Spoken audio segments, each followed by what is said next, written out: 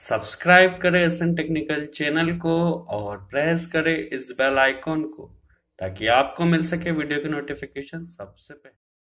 Hello friends friends आज के हमारे वीडियो का टॉपिक है कैपेसिटर एसी सप्लाई को पास करता है, जबकि डीसी सप्लाई को ब्लॉक करता है, ऐसा क्यों होता है? बड़ा इंटरेस्टिंग क्वेश्चन जो आपसे इंटरव्यू में या कॉम्पिटेटिव एग्ज़ाम में कहीं भी पूछा जा सकता है। कैपेसिटर एसी को पास करता है और डीसी को ब्लॉक क्यों करता है? तो चलिए इसके लिए हम मेनली टू रीजन समझने की कोशिश करेंगे, जिनसे हमें क्लियर हो जाएगा कि ऐसा क्यों होता है। चलिए सबसे पहले हम डीसी की कंडीशन में समझते हैं कि डीसी को ब्लॉक क्यों करता है। यह हमारे पास एक सर्किट है, जिसमें हमने एक कैपेसिटर कनेक्ट करके रखा है। यह एक रेजिस्टर है, यह एक स्विच है, और यह हमारे पास एक डीसी वोल्टेज सोर्स कनेक्ट हमने इसमें कर रखा है। तो चलिए समझते हैं। सबसे पहले हमें कैपेसिटर की प्रॉपर्टी पता होना चाहिए। कैपेसिटर अभी हमारा फुली डिस्चार्ज है। अभी ये चार्ज नहीं हुआ, इस कंडीशन में हम ले रहे हैं। तो कैपेसिटर फुली डिस्चार्ज होता है तो इधर शॉर्ट सर्किट बिहेव करता है। क्योंकि इसे चार्ज होना होता है तो चार्ज होने की कंडीशन में क्या होता है? शॉर्ट सर्किट बिहेव करता है करंट का फ्लो होने देता है। जैसे जैसे यह चार्ज होते जाता है तो एज अ ओपन सर्किट काम करता है। जैसे हमारा कैपेसिटर फुली चार्ज हो जाएगा तो ये as a open circuit behave करेगा। और ये हमारे पास एक स्विच कनेक्ट करके रखा है, जिसे हम सप्लाई सर्किट में फ्लो कर सकते हैं।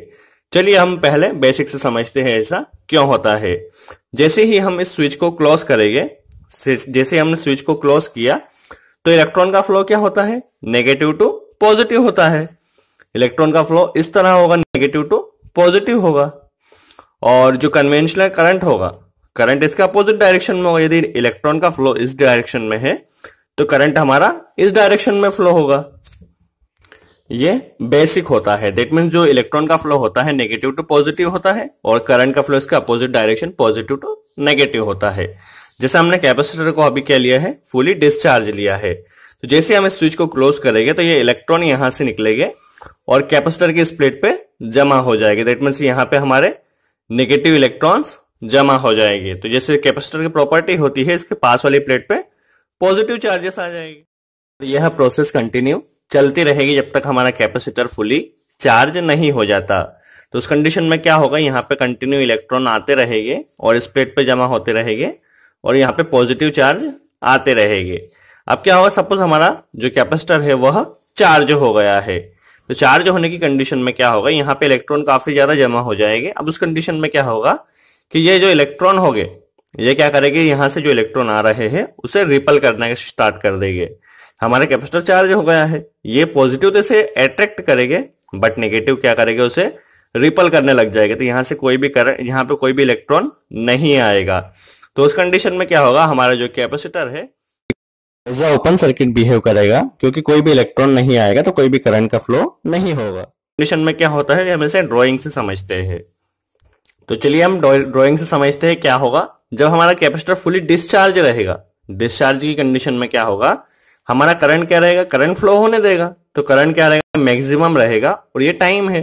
तो करंट क्या होगा? धीरे धीरे धीरे धीरे होता हुआ एकदम ज़ीरो पर आ जाएगा। जैसे जैसे चार्ज होते रहेगा टाइम के रिस्पेक्ट में, जैसे हमारा कैपेसिटर चार्ज होगा, इसमें करंट फ्लो होना बंद हो जाएगा स्टार्टिंग में मैक्सिमम रहेगा। और वोल्टेज का क्या रहेगा? वोल्टेज स्टार्टिंग में कम रहेगा जैसे जैसे जैसे इसमें हमारा कैपेसिटर चार्ज होगा, कैपेसिटर में जो वोल्टेज है वो बढ़ते जाएगा और एकदम जब वोल्टेज फुल हो जाएगा दैट मीन जितना वोल्टेज सोर्स है सपोज़ यहाँ पे 12 वोल्ट है तो यहाँ पर भी 12 वोल्ट का वोल्टेज सोर्स जनरेट होगा, यदि 24 वोल्ट है तो यहाँ पे भी 24 वोल्ट वोल्टेज सोर्स जनरेट होगा और यहाँ पे कोई भी करंट फ्लो नहीं होगा और ये as a open circuit behave करेगा। तो यही वो मेन रीजन है जिसके कारण कैपेसिटर डीसी को पास नहीं करता, क्योंकि जब डिस्चार्ज होता है तो करंट का फ्लो मैक्सिमम होता है। और जैसे जैसे हमारा कैपेसिटर चार्ज होते जाता है यहाँ पे इलेक्ट्रॉन्स बढ़ते जाते हैं जो जैसे रिपल करते हैं और हमारा जो वोल्टेज है वह बढ़ते जाता है जिस कारण ये बाद में as a open circuit behave करता है। तो यही कारण होता है कि डीसी पास नहीं करता है। कैपेसिटर हाँ, डीसी को पास नहीं करता है। अब एसी की कंडीशन में हम समझते हैं। क्योंकि एसी का नेचर क्या होता है? कंटिन्यू चेंज होता रहता है। ये एसी की एक वेव फॉर्म है। इसमें क्या है? कंटिन्यू इसका जो बिहेवियर है वह चेंज होते रहता है। ये एसी सप्लाई है, यह कैपेसिटर है, यह रेजिस्टर और यह एक स्विच है। सपोज़ अभी हमारा ये पॉजिटिव है और यह नेगेटिव है। अब इस कंडीशन में क्या होगा, जैसे हम स्विच को क्लोज करेंगे तो यहाँ से जो इलेक्ट्रॉन हो गए, वो यहाँ पे जमा हो गए और उसके पास वाली प्लेट पे पॉजिटिव पॉजिटिव आएगा।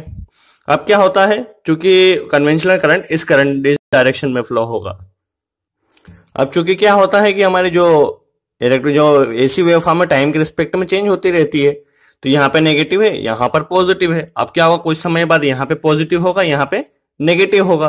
तो यहाँ पे पॉजिटिव चार्ज आ जाएगी, यहाँ पे नेगेटिव आ जाएगी और यह कंटिन्यू चेंज होती रहती है। तो इस कंडीशन में क्या होता है एसी को तो पास कर देता है, क्योंकि क्या इसकी जो प्रॉपर्टी है टाइम के रिस्पेक्ट में चेंज होती रहती है। कभी ये पॉजिटिव कभी ये नेगेटिव कभी ये पॉजिटिव कभी ये नेगेटिव और नेगेटिव पॉजिटिव चलता रहता है। इस तरह क्या होता है? इस पर कोई भी चार्ज जमा नहीं होता है और जमा नहीं होने के कारण क्या होता है? इसमें इलेक्ट्रॉन का फ्लो आसानी से होता रहता है और करंट फ्लो होता रहता है। तो यही मेन रीजन है कि यह एसी को पास कर देता है, जबकि डीसी को ब्लॉक कर देता है। इसका दूसरा रीजन हम समझे तो जो कैपेसिटिव रिएक्टेंस होता है X C X C is equal होता है ओमेका सी के, और ओमेका सी इसको देखा जाए तो एक्स सी होता है वन अपॉन एक्स सी होता है वन अपॉन ओमेका सी के तो यदि इसकी वैल्यू और ओमेका जो होता है टू पाई एफ़ के बराबर होता है तो एक्स सी हो जाएगा one upon two pi F C ये पे यहाँ पे देखा जाए तो ये कैपेसिटर होता है कैपेसिटिव रिएक्टेंस होता है। दैट मीन्स कैपेसिटेंस होता है, ये कैपेसिटिव रिएक्टेंस होता है X C that means capacitor के कारण कितनी सप्लाई हमारी रोकी गई है। तो ये होता है कैपेसिटेंस कितने की वैल्यू का कैपेसिटर है, ये कैपेसिटिव रिएक्टेंस होता है और ये होता है फ्रीक्वेंसी अब जैसा हम जानते हैं कि एसी में फ्रीक्वेंसी होती है तो उस कंडीशन में क्या होता है? फ्रीक्वेंसी होने की कंडीशन में उसकी कुछ ना कुछ वैल्यू आएगी तो उस कंडीशन में क्या होगा? ये एसी को पास करेगा। यदि हम डीसी की कंडीशन में लेते हैं तो डीसी में कोई फ्रीक्वेंसी नहीं होती है। डीसी की कोई फ्रीक्वेंसी नहीं होने के कारण क्या होगा? यहाँ पे एफ़ ज़ीरो हो जाएगा। तो एफ़ ज़ीरो होने के कारण क्या होगा? एक्ससी की जो वैल्यू होगी, ये वन अपॉन ज़ीरो यहाँ पे क्या होगा? ज़ीरो होगा। ज़ीरो की वैल्यू क्या होती है? एक्ससी होगा वन अपॉन ज़ीरो होने के कारण ये हो जाएगा इन्फिनाइट दैट मीन्स इसका क्या होगा?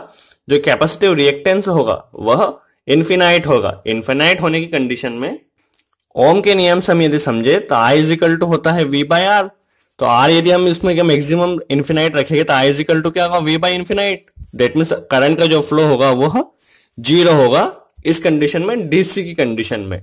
डीसी की कंडीशन में इसमें कोई करंट फ्लो नहीं होता है, क्योंकि इसका कैपेसिटिव रिएक्टेंस जो होता है वह इन्फिनाइट होता है, जबकि एसी में कुछ ना कुछ जिसकी वैल्यू आती है इसके कारण एसी को पास करता है। जैसे मेन दो रीजन यही है कि डीसी में पहले तो क्या होगा नेगेटिव इलेक्ट्रॉन्स जमा हो जाएँगे तो एक दूसरे को रिपल करेंगे, और ये as a short circuit behave करेगा as a open circuit behave करेगा, इसलिए पास नहीं करेगा। और दूसरा रीजन ये होता है। तो फ्रेंड्स आई होप आपको हमारा यह वीडियो अच्छा लगा हो। वीडियो कैसा लगा कमेंट्स में ज़रूर बताएँ, और अच्छा लगा हो तो लाइक का बटन ज़रूर प्रेस करें। सो फ्रेंड्स आज के लिए इतना ही। Thanks friends